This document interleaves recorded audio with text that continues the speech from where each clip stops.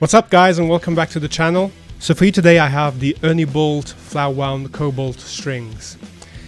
These are Ernie Ball's attempt to make a flat wound string which will sound like a round wound string. So I've tried these a few times in the past and I can tell you they kinda get close to a round wound string, but I'll record some clips with them so you can judge yourself.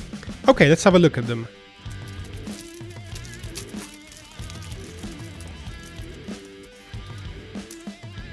So Ball provides this installation sheet and shows you the correct way to put the strings on, which is the way I have always done it to be honest. There is this extra step though, uh, an extra wrapping you can do, but honestly I have never felt any difference, so you, it's your choice if you want to do it or not. Okay, let's have a look at our strings.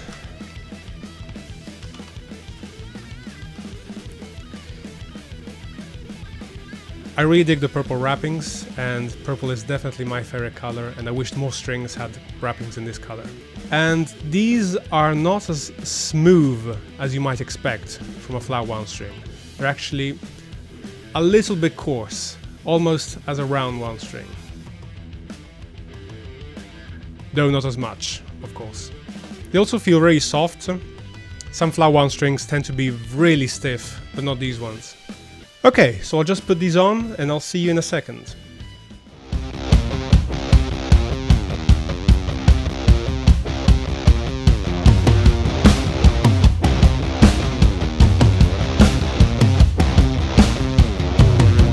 Okay, I've got my strings on. I've put them on my Fender Jazz Special.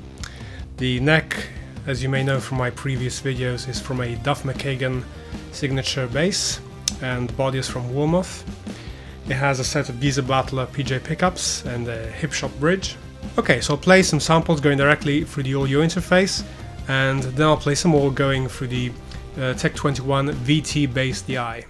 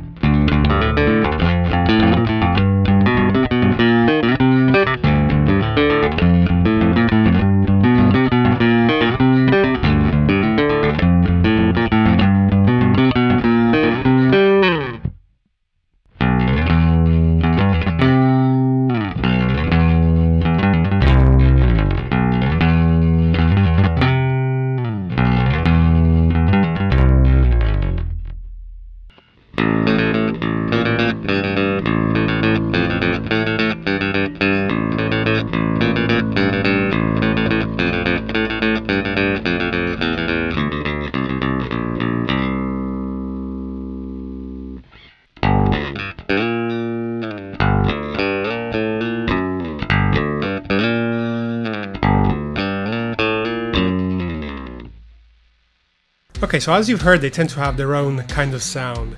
It's not 100% like a round wound stainless steel string, but I guess it kind of gets up to like 90% around there. And since I already tried these strings a few times in the past, I can already tell you that over time they tend to lose that brightness and become uh, more and more sort of a traditional flat wound string, more mellow and, and darker sounding. But overall they're really cool strings and I definitely recommend getting them if you're looking for something a bit less traditional and different sounding.